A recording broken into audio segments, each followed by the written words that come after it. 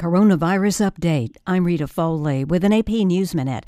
China says it's being scientific about its COVID restrictions, despite complaints. Some of those complaints now coming from the U.S. China's dismissed complaints from two Congress members over the quarantining of American diplomats and their family members under the country's strict COVID 19 regulations.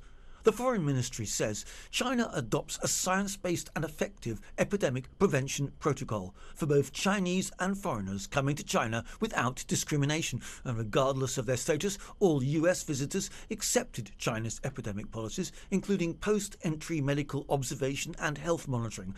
Republicans James Comer of Kentucky and Michael T. McCaul of Texas have written to Secretary of State Antony Blinken asking for clarification on the quarantining of American diplomats and family members by the People's Republic of China. I'm Charles de Ledesma. And I'm Rita Foley.